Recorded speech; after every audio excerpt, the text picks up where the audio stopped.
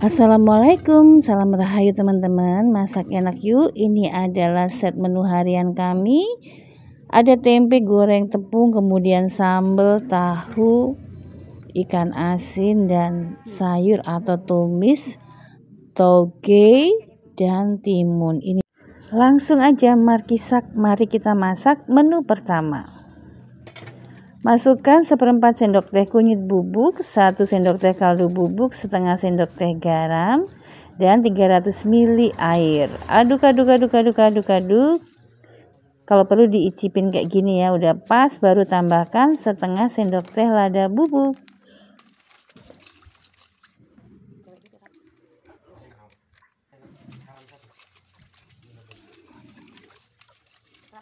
Setelah rasanya pas, baru deh ini ada empat potong tahu, kita potong-potong lebih kecil, kita masukkan ke dalam air bumbunya ya.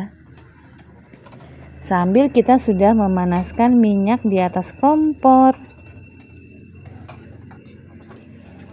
Nanti kita ratakan dulu bumbunya.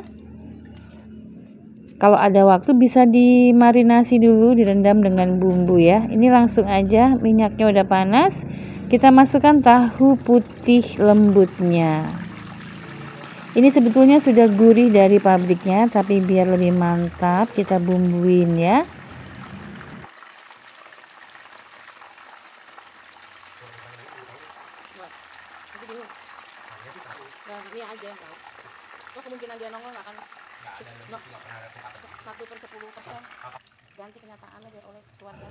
Kita goreng bolak-balik.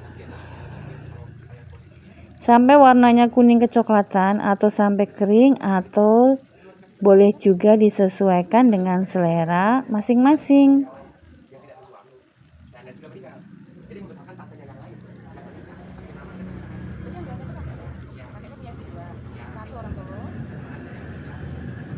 Nah, ini sudah kering ya. Kita angkat, kita lanjut, kita goreng sampai selesai semua tahunya atau sesuaikan dengan kebutuhan.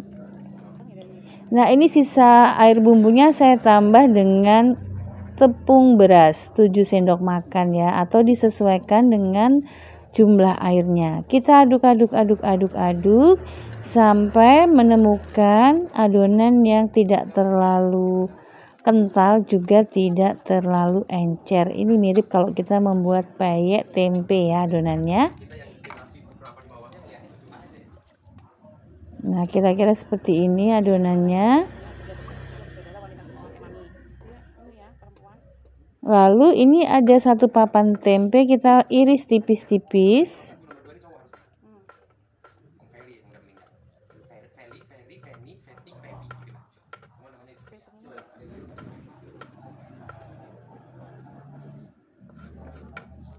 Nah ini satu papan kalau di tempat saya harganya ya yang ukuran seperti ini tadi tuh Rp6.000.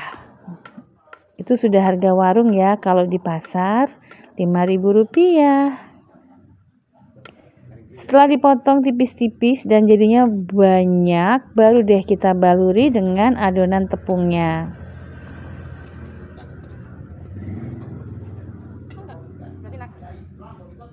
Nah, adonannya seperti ini ya. Nah, ya, agak encer ya. Sudah gini aja langsung masukkan ke dalam minyak panas.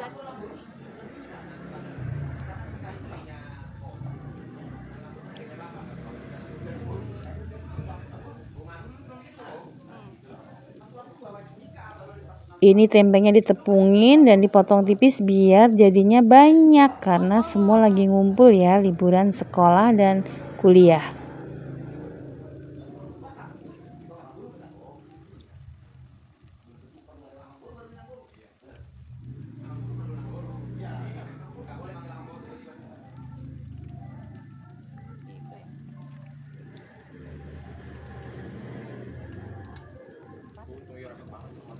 Kita goreng bolak-balik tempenya sampai warnanya kuning kecoklatan.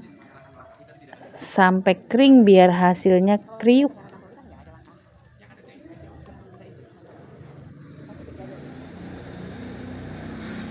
Nah, ini sudah kering ya. warnanya juga sudah cantik banget kuning kecoklatan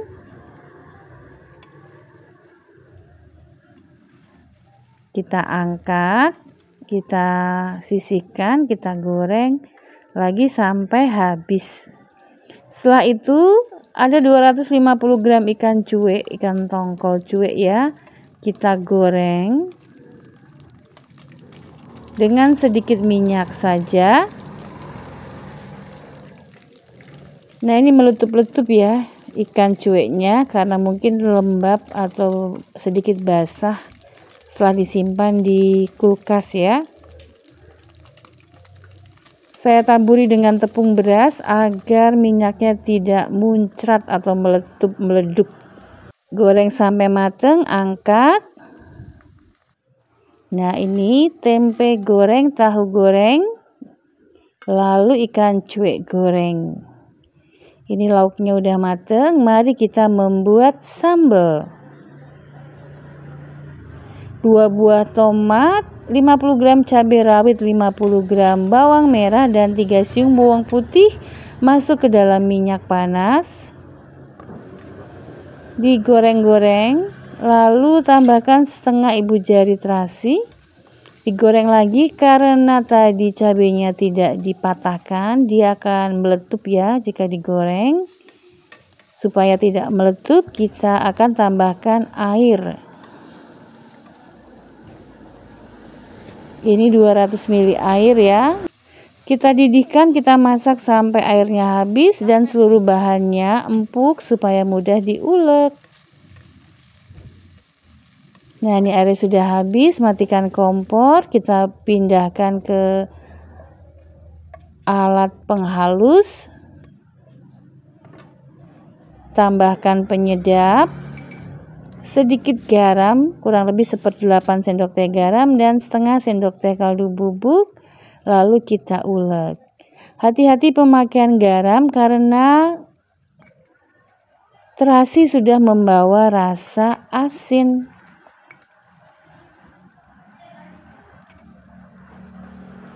Ulek sampai halus atau sesuai selera.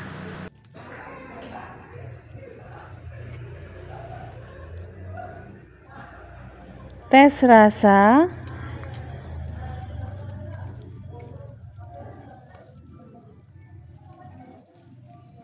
Tambahkan seperdelapan sendok teh gula atau seperempat sendok teh gula agar lebih sedap untuk mengimbangi asinnya terasi dan garam ya. Nah udah deh gini aja. Sambelnya sudah mateng atau sudah lembut kita sisihkan terlebih dahulu ke menu berikutnya. 250 gram toge nanti kita akan pakai 3 buah timun ya ini sudah dicuci bersih. Timunnya akan kita iris-iris atau potong-potong terlebih dahulu diiris atau dipotongnya sesuai dengan selera masing-masing ya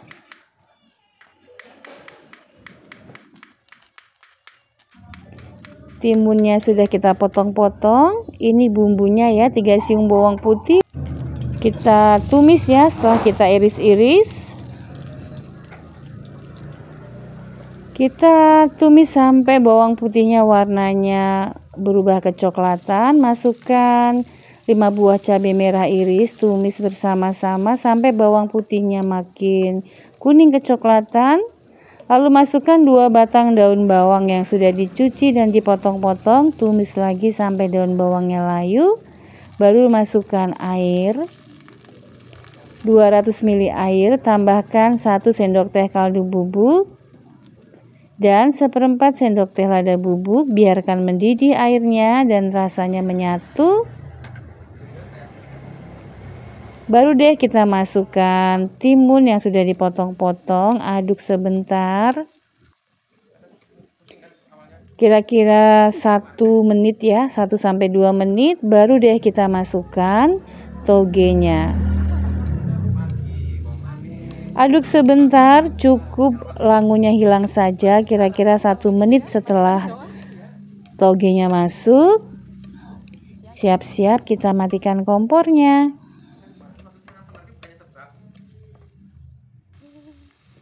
Dan tumis timun togenya siap disajikan, disantap bersama nasi panas, tempe goreng tepung, tahu goreng, ikan cuek dan sambal. Wah, ini beneran nikmatnya tuh pakai banget. Demikian teman-teman set menu harian kami hari ini. Selamat mencoba.